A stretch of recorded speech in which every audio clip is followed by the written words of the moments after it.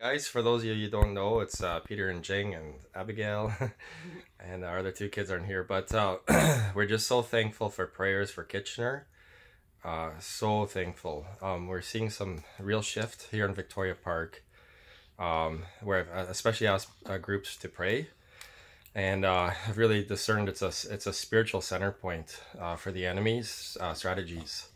And so, thank you for your prayers. We have wonderful testimonies coming out of the park um, this Tuesday, we got to worship right among the tent encampment and mm-hmm. pray for people who are living in the tents. And um, these people are so broken. And I just found out there's, uh, we've noticed very young kids, 12 year old kids, and just found out uh, also that they are being trafficked. Uh, we just ask for continued prayers um, for breakthrough. And uh, I'm already amazed what God has done. That we could uh, worship and bring the Word of God into that central point is absolutely uh, an answer to prayer.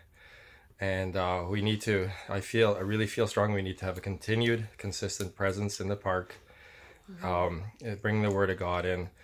We've been bringing coffee in and stuff, and even Abigail's been helping make the coffee and hand mm-hmm. it out. and uh, I think I'm so thankful for other families coming with their kids um, coming from further away. We live close to the park. Um, so please uh, continue to pray for Kitchener. If you can't make it out, your prayers are felt.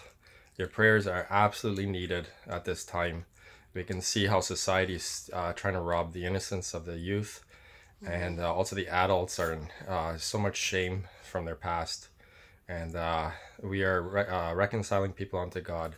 We're ministers of reconciliation. the price has been paid for everybody sins, and we just uh, we pray that people will will want to repent, turn to the living God, and we want to uh, share the gospel not just with words but with power, and also practical ways uh, to keep these people warm. Um, give whatever we can to help them out.